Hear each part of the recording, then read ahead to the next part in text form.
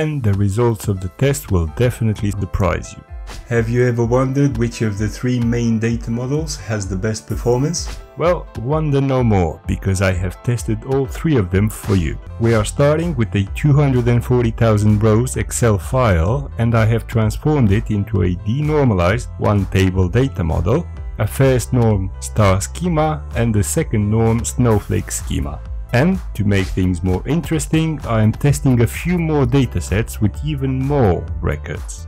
The report itself is a basic HR report with measures ranging from the simple headcount to the more advanced attrition percentage and Bradford score. If you want to test your own data models in the future, then here's what you need to do first. Add a blank page to the report, go to options and clear the cache memory, save and close the report. Then we open the report, open the performance analyzer pane and press start recording. As a matter of preference, I like to sort the results descending based on total time. Now let's run the test for the 240,000 rows for the flat file, star schema and snowflake schema. This is a bit surprising, but not so much. I was expecting that the star schema would have the best performance, but it looks like it was not the case.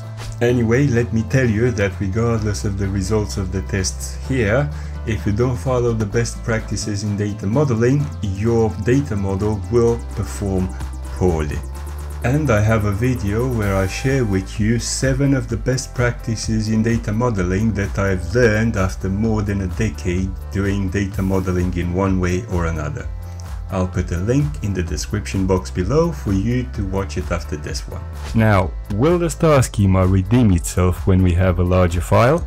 For the 480,000 rows we have again the snowflake schema first, but it looks like the flat file is getting the second place. Hmm, things are not looking good for the star of the show right now. Surely at 950,000 row we will have the correct leader. And yes, we have the star schema on the first place, the snowflake schema on the second place and the flat file last. Just how it should be like, but this is not all. I'll give the star schema the chance to take the absolute crown by testing a 4.75 million rows dataset. But will the star schema take the crown?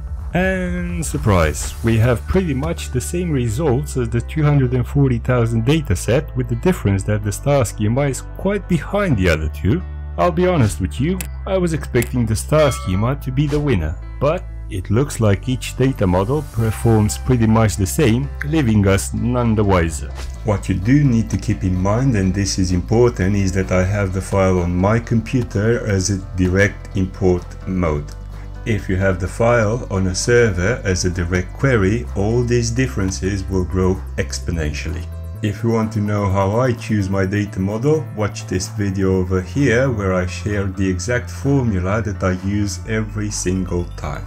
If you found this video useful, then smash that like button and consider hitting the notification bell. I'm Stelian, signing off. Until next time, cheerio!